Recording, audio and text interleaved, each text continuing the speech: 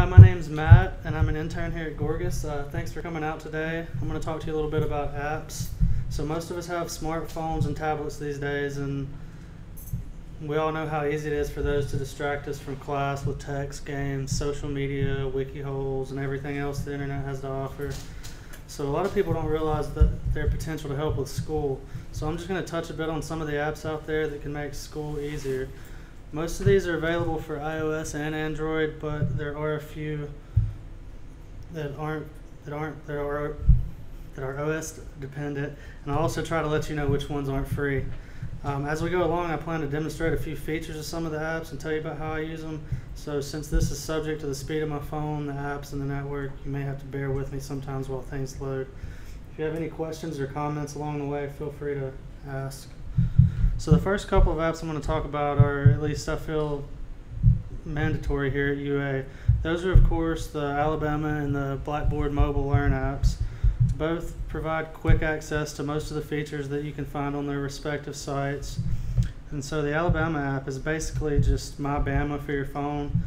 Um, you can do things like like find faculty and staff contact information. So like a few weeks ago, I was working on this Google Map for a class project, and I had to use this app to find the email address of another professor who I was told had some experience with creating Google Maps. So you basically just have to type in someone's name and search for them, and it'll bring up their office number, it'll bring up their their office phone number, their office number, their email address, and all that sort of stuff.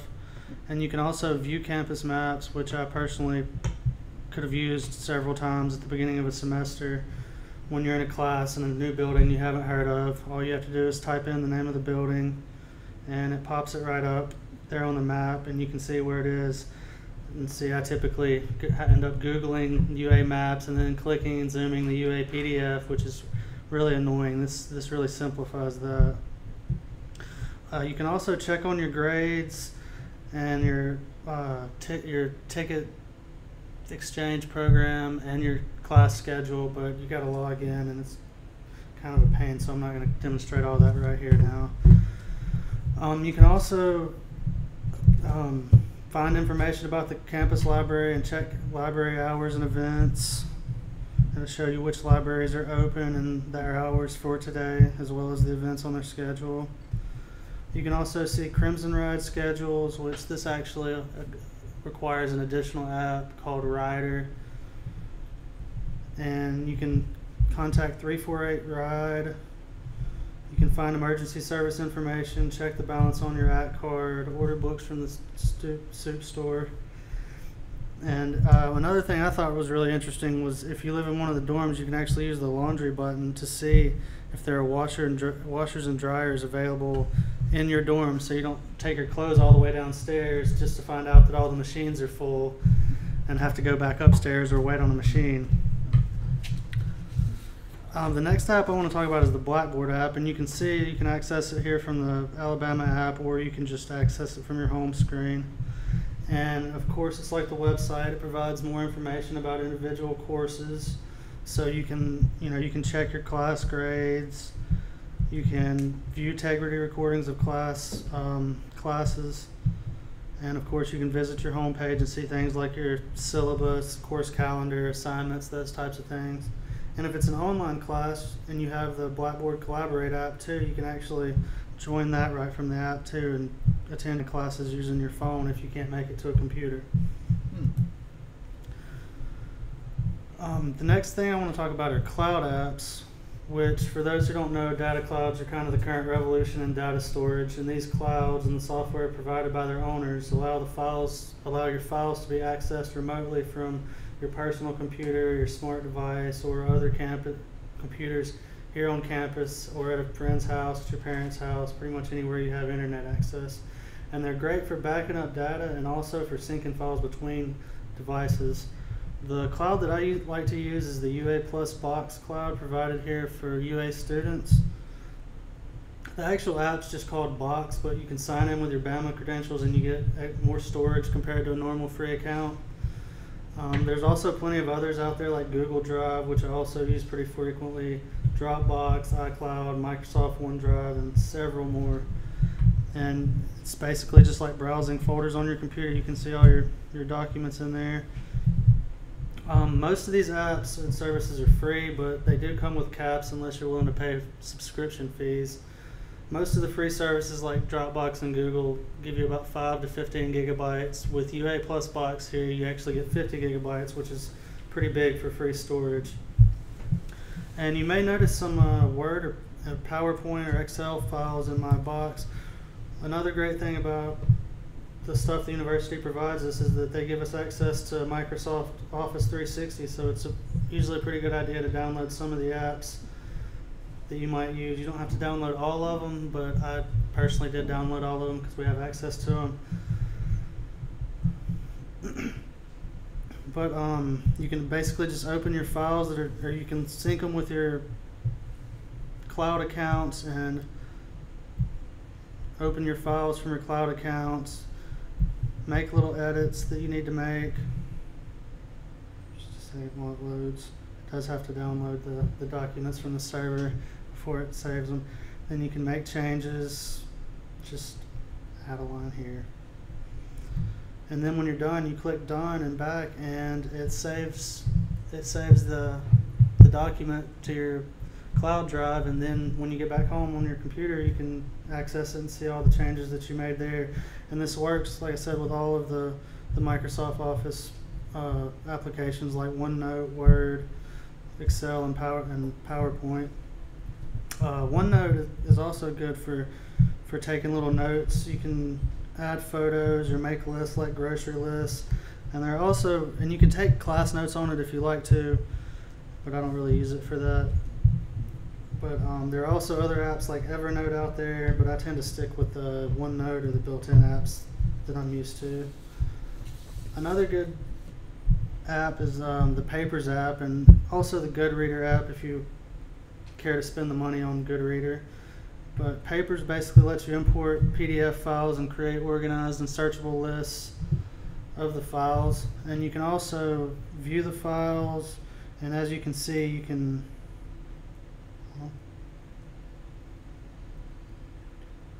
you can highlight text on the files very easily just by selecting it.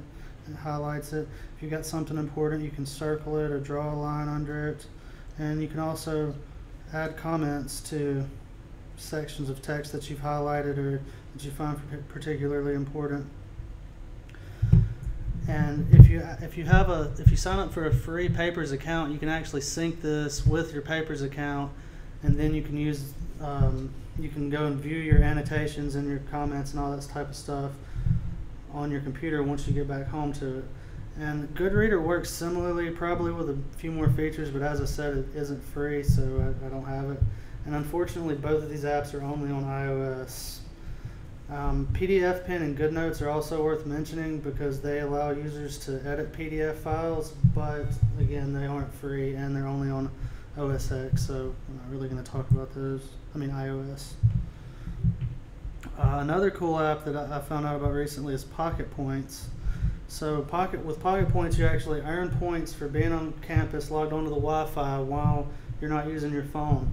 It was actually designed to reward students for fighting the urge to not play on their phones during class. So what you earn points by keeping your phone locked while you're logged into the Wi-Fi on campus, and the points can be redeemed for things like free food from Papa John's, Krispy Kreme, Moe's, and Buffalo Wild Wings, and also for discounts on other things like music, clothes, shoes, entertainment, and several things. You can see you can see that the app is counting down the time until I receive my next reward. So you do have to go to this screen and lock your phone on this screen to earn points. If, if it's on any other screen, you won't earn the points. So you do have to remember that. And I think you earn a point for about every 30 minutes, so you're not going to get free stuff super fast, but it's money for nothing. And then every time you open your phone, that screen's there to remind you to stay off your phone. And also, they offer double points on Tuesday, and the more people on campus using the app, the more quickly the points build for each individual user. So I keep mine on pretty much anytime I'm on campus, whether I'm working here at the library or just walking around campus between classes and not playing on my phone. speaking of uh, apps for establishing good habits, To Do is, al- is another app that's that's useful for that, and it's great basically for keeping up with assignments, tests, to-do lists, and all of your appointments and dates. And the interface is really simple, even compared to using the built-in calendar software. And as you can see, it allows the items to be sorted by school, work, or personal, however, whatever kind of folders you want to create, basically. And if you create an account again, it can be synced between your mobile devices and your computer, so you can view and edit these things from a computer as well as your, your phone or your tablet. Basically, to add a note, you just click the little plus, type in what it is that you need to do, and it can either create a task where you can go to details and change the date and time, the priority, set it to repeat, or give you an alert when it's time. And you can even add actions like having your phone call or email or display a map or something like that at a certain time, or even open a website at a certain time according to your to-do list. And then once you're done, once you've completed the item, you simply check it off the list and it drops to the bottom of your list under the completed items tasks and eventually you can either delete them or they delete themselves. Now this this uh, this app is five dollars and it's only available on iOS, but it's it's still a great app. And as you can see, another thing that's nice about it is if you miss apps or apps are overdue, it lets you know by highlighting them in red or by sending notifications if you turn notifications on for the app. So Feedly and Reeder are good apps for keeping up with the blogs and RSS and social media and in pretty much any other updated content. While Reeder is only available for iOS, Feedly is available on both platforms and free, but Reeder is also five dollars. So with Feeder, you, um, Feedly, you basically create an account either on your phone or on your computer, and then add blogs or other items to follow. And once you've signed in, you can flip through the items and, and view them in your feed. You can also you can also share the items directly to Twitter by by clicking the, the Twitter button, or share them to Facebook, text messages, email, or pretty much links. Just however, so there's several options for sharing, and you can also choose to view them in the browser if there are extra pictures and things like that that you'd like to see that are only available on the actual website.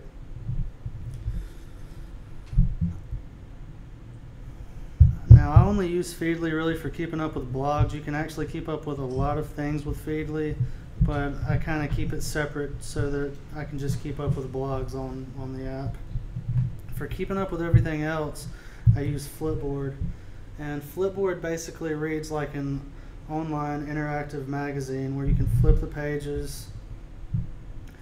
Um, the app offers topics in the news and on the web that you can choose from to populate your magazine. And it further allows you to add RSS feeds. You can link your social media accounts like Twitter, Instagram, Flickr, Facebook, and you can even add newspaper accounts like the New York Times or Wall Street Journal or Washington Post. You can see that I have my New York Times account linked here. Um, this basically allows Flipboard to serve as kind of an all-in-one personalized news source that's specific to you and your interests. And it can really help simplify keeping up with your network and your news. Uh, you can see that you can that you just basically flip the, through the pages of the apps. If you find something interesting to read, you click on it and it'll load the full app. And every so often, you can see it offers new topics for you to follow based on the topics that you're reading or the topics that you've already followed. And because it's free, it does come with ads. And some of them are videos, but the nice thing is you don't have to sit on the ad for a certain amount of time. You simply flip the page like in a real magazine and the ad's gone. It also allows for articles like tweets, updates, blog posts, etc., to be instantly shared with others through Facebook, email, text message, Twitter, several other ways, several ways to share. Just a few days ago, I came across an article on Flipboard about patients who wake up paralyzed during surgery. Well, I happen to have a classmate who's really interested in this phenomenon, so I just simply clicked the share button, clicked on Twitter, and then I tagged her in it and submitted the post, and I was able to share that article with her, which I'm hoping she found interesting, with just basically no no trouble. So speaking of magazines, BrowZine is another service provided by the university. It allows subscriber it allows users to subscribe to scholarly journals and browse the new issues as they're released. This often leads to a kind of serendipity in finding information. So I don't know about you, but I have trouble coming up with research topics for essays and projects quite often. Maybe I have too broad of an interest, or maybe I'm just thinking inside the box too much. But this helps with this and gives the opportunity to stumble upon interesting topics in your field without having to sit around and come up with a topic on your own. So you can create virtual shelves for journals of that are in topics that interest you, and the app actually provides little notifications when there are new articles in the journals that you're subscribing to. But you can populate your your shelves with these apps, and you can you can see you have several shelves which you can dedicate entire bookcases to certain topics, or just certain shelves for smaller subtopics, I guess. And you can view the journal. You can open the page. It does take a minute to download. And also, I should mention that when you first use the app, it's going to ask you to log in with your uh, BAMA credentials. But once you've used it once, it automatically logs in, so there's no need to enter them every time. But you can see you can click easily read the articles. Can share the articles by email or to bibliographic management tools or Facebook or Twitter. And you can also save the article in your browsing list so that you can quickly come back to it in your list. So by browsing the journals this way, you can see what others are talking about and what new developments are happening, and this can spark ideas and more specific interest, and that's kind of what I was getting at with the papers, research paper ideas. Uh, the last one I want to talk about is also a service provided by UA, and it's not necessarily helpful to school, but it can be, and it also provides some entertainment. And I'm talking about Flipster, which is basically a digital newsstand where you can read and browse your favorite popular magazines digitally. Now, you do have to populate the app by visiting the library database. So, you'll have to go to the library database, databases, and then find Flipster under that.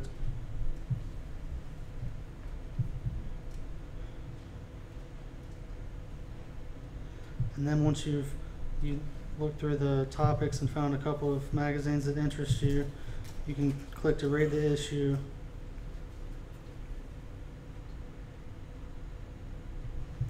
This is what I was talking about, uh, bearing with me. And then you can click, you can choose to open it in the app. And once you open it in the Flipster app, it downloads the issue to your phone or your tablet, and then you can access the issue anytime you want, whether you're connected to the network or not.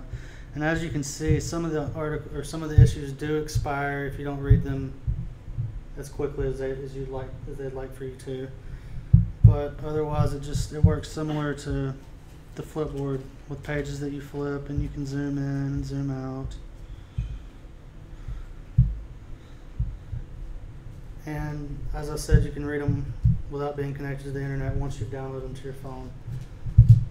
And that's pretty much all that I had to talk about about the apps. Do we have any questions?